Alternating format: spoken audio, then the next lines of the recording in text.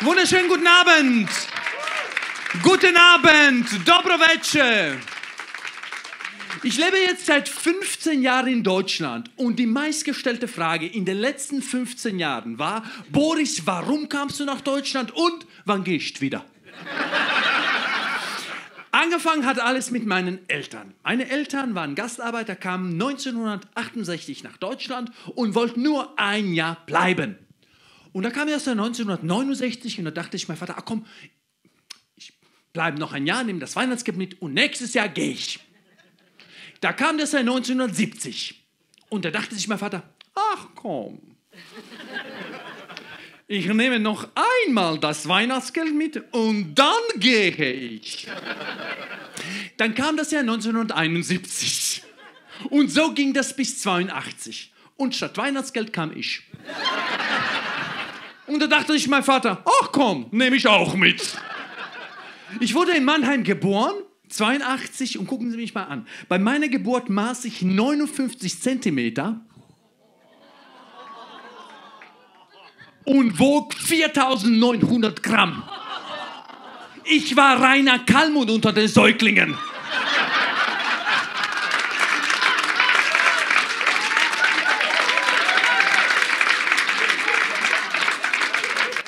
Man hat zu meiner Mutter nicht gesagt, Frau Stelia, Sie sind schwanger, sondern Frau Stelia, Sie sind sehr schwanger. Und ich war in zig Decken eingewickelt, in sieben Decken. Ich sah aus wie eine ägyptische Mumie. Muss mir vorstellen, in sieben Decken war ich. Eigentlich hätte ich Kohlroulade heißen müssen. Und das Geilste war, als mein Vater im Sommer da war, ne? Papa, ich will den Bagger. Nein, gibt's nicht. Und da habe ich ihn so mit meinen Rehaugen angeguckt. Da hat er mir alles gekauft. Papa, ich will ein Auto. Am nächsten Tag war ein Auto da. Papa, ich will einen Bagger. Am nächsten Tag war der kleine Bagger da. Papa, ich will so einen kleinen Teddybär. Am nächsten Tag war der Teddybär da. Alles, was ich wollte, war am nächsten Tag da. Wenn man das so sieht, war mein Vater eigentlich die Vorstufe von Amazon Prime. 1990 bekam ich sogar einen eigenen Computer. Commodore 64. Ich glaube, ich glaube, das war der einzige Computer auf dem ganzen Balkan. Die Nachbarn dachten, wir arbeiten beim Geheimdienst. Dann 1991 kam der beschissene Balkankrieg zwischen Serben und Kroaten. Jetzt war die Problematik in der Familie. Meine Mutter ist Kroatin und mein Vater ist Serbe. Bombenstimmung. Die Frontlinie verlief durch das elterliche Schlafzimmer. Das ist wirklich, das können Sie sich nicht vorstellen. Das ist genauso, als würde heutzutage Merkel mit Erdogan ins Bett gehen.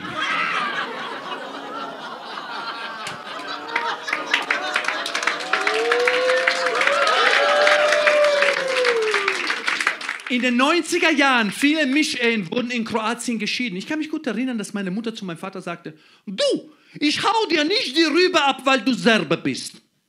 Äh, äh. Aber wenn du meinst, die serbo-kroatische Völkerfreundschaft mit unserer Nachbarin Jadranka vertiefen zu wollen.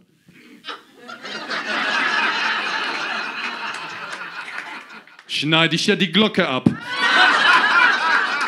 Ich war damals neun Jahre alt, ich schwör's Ihnen. Ich habe das ganze Haus durchsucht, wo mein Vater die Glocken versteckt hat. Und nicht nur Papa Serbe, Mutter Kroatin. Die Problematik beginnt in der Religion. Meine Mutter ist Kroatin, römisch-katholisch. Mein Vater ist Serbe, russisch-orthodox. Auf meiner Geburtsurkunde steht, ich wirklich war, ich bin ein serbo-kroatischer, russisch-orthodoxer Katholik. Das ist so ein bisschen wie wenn Sie chinesisch essen gehen auf der Speisekarte.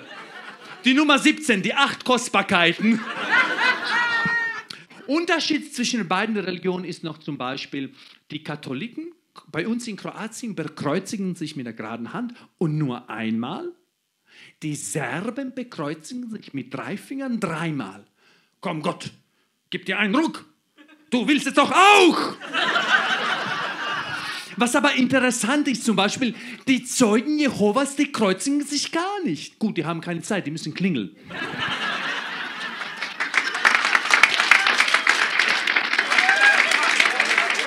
Was auch sehr interessant ist, zum Beispiel, ist, die serbischen Pfarrer sind nicht rasiert. Ein orthodoxer Pfarrer, wenn er Pfarrer wird, darf sein Bart zwölf Jahre lang nicht abrasieren. Wissen Sie, was da los war?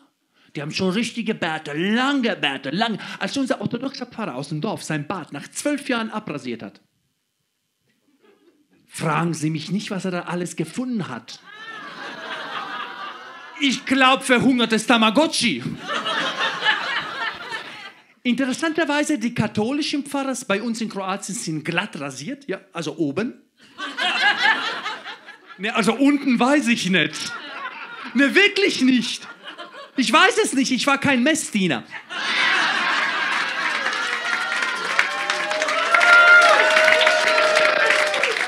Ich will wirklich sagen, ich hatte eine wunderschöne Kindheit in Kroatien. Mein einziges Problem war, ich musste samstags zur Schule. Aber ich dachte, nein, ich möchte nicht zur Schule. Samstags und dann habe ich angefangen, Theater zu spielen. Das ist wirklich wahr. Mit sieben Jahren hatte ich meine erste Theaterrolle im Krippenspiel. Ich war die Maria. Wissen Sie, wie beschissen das war? Ab dem siebten Lebensjahr war ich Jahr für Jahr die beschissene Maria. Bis zum 21. Lebensjahr.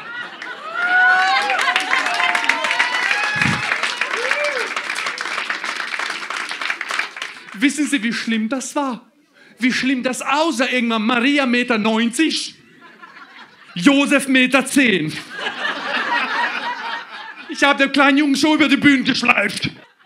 Und da habe ich festgestellt, oh, Theater macht mir Spaß. Ich mache das beruflich. Ich werde Schauspieler. Sie müssen sich vorstellen, als ich, mein Vater sagte, Papa, ich will Schauspieler werden. Mein serbischer Vater guckt mich an und sagt, Boris, du kannst mir ruhig sagen, dass du schwul bist.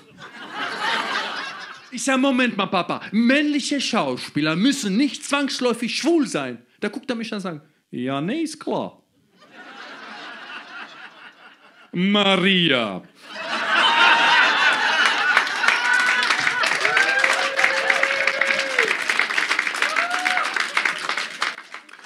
Und dann bin ich auf die Schauspielschule nach Zagreb, Hauptstadt in Kroatien. Wissen Sie, was Sie da drei Jahre lang machen? Stimm- und Sprechtraining. Das funktioniert so dermaßen. 20 Studenten wälzen sich auf dem Boden hin und her und machen Stimm- und Sprechtraining. Das sieht dann so aus. Drei Jahre lang. Baba, bebe, bibi, baba, bubu, bebe, baba. Mehr Stimme, Stelja, mehr Stimme. Baba, bebe, bibi, baba, bubu. Alter. Wenn da jemand vorbeigekommen wäre, dachte ich, bei uns ist Geburtsvorbereitungskurs.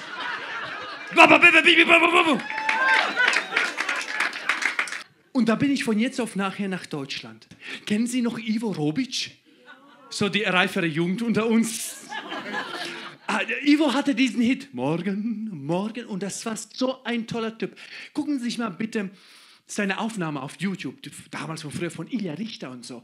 Der hatte eine spezielle Technik, wie er gesungen hat. Er hat seinen Text ins Publikum gesungen und bei den Passagen, ne, wo kein Text war, wo nur Melodie war, hat er ganz dezent, dezent in die Kamera gegrinst. Ganz dezent. Das sah dann immer so aus.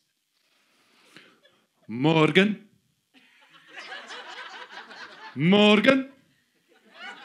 Lacht uns wieder das Glück. Gestern. Gestern. Ich schon so lange zurück war, aber damals bei uns in Kroatien Samstag war Badetag. Wir waren fünf Leute im Haushalt. Ich kam als fünftes dran, vier Leute waren vor mir dran. Meine Mutter hat das Badewasser nicht gewechselt. Du bist noch sehr jung. Weißt du, wie eklig das ist?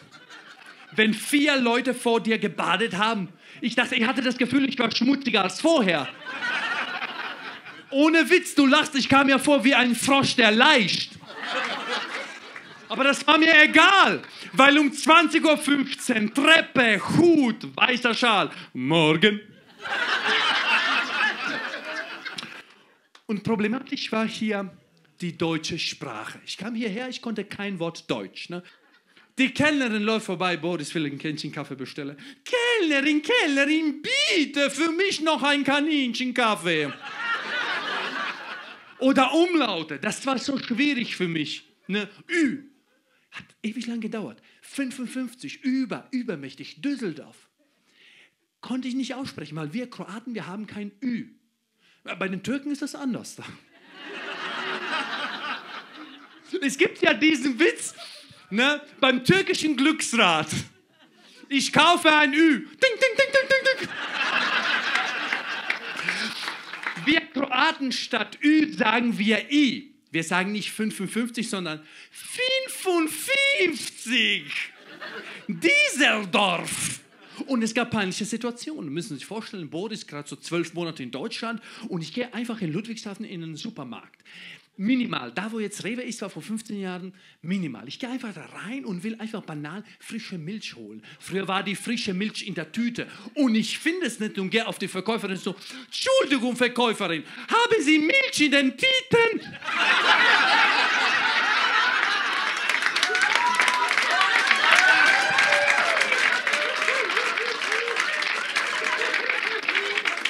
Wissen Sie, mein Problem ist, ich mag kein klassisches Theater. Nein, ich war letztens, habe ich mir Hamlet angeguckt, ne, in der modernen Version. Da hat Hamlet in der modernen Version in einer U-Bahn gespielt. Und alle Darsteller waren nackt, komplett nackt. Die trugen nur Masken. Nach 60 Minuten war Pause und da sagt die Frau neben mir, sagen Sie mal, junger Mann, Sie gucken schon nachdenklich. Und ich ohne zu überlegen, ja, weil einer der Hauptdarsteller kommt mir bekannt vor.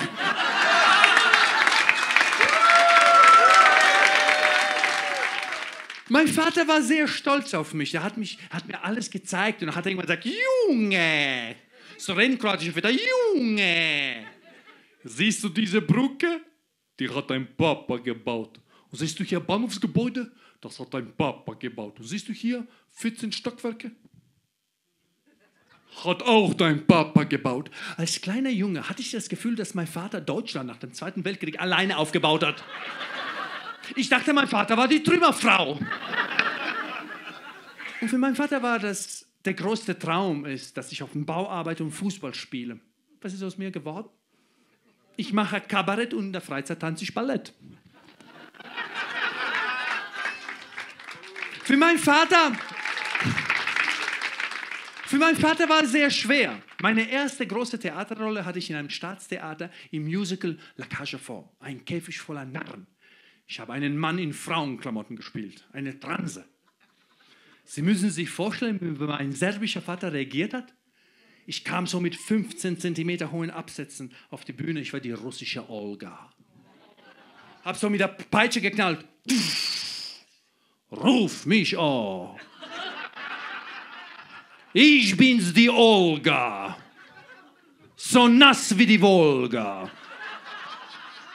Wissen Sie, was das los war? Mein Vater ist ausgetickt. Du bist nicht, du bist unmöglich.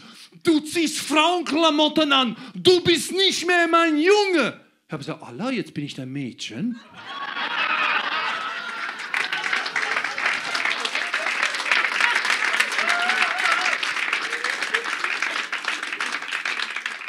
Und dann hat mein Vater sechs Jahre mit mir nicht gesprochen. Wissen Sie, ich habe nichts gemacht. Ich habe niemanden belogen, betrogen. Ich habe niemanden umgebracht. Ich übe nur den Beruf, den ich über alles liebe. Und er hat mit mir nicht gesprochen. Ich habe gesagt, okay, die Nabelschnur muss ab. Und dann haben wir sechs Jahre lang nicht gesprochen. Bis vor zwei Jahren. Hat sich Eintrittskarte für mein Comedy-Programm gekauft, saß in der ersten Reihe, ohne dass ich das weiß. Und die Show war super, die Leute sind ausgetickt und ich blicke und sage, oh Gott, das ist mein Papa. Und ich merke, wie stolz er war. Wissen Sie, der, war, der hat gestrahlt wie Fukushima. Er hatte so drei, vier Tränchen und er war so stolz auf mich und das tat so gut. Und er war so stolz, dass dann mitten in der Show ganz laut zu unbekannten Sitznachbarn sagt, pss, pss, den da oben habe ich gebaut. vielen, vielen Dank.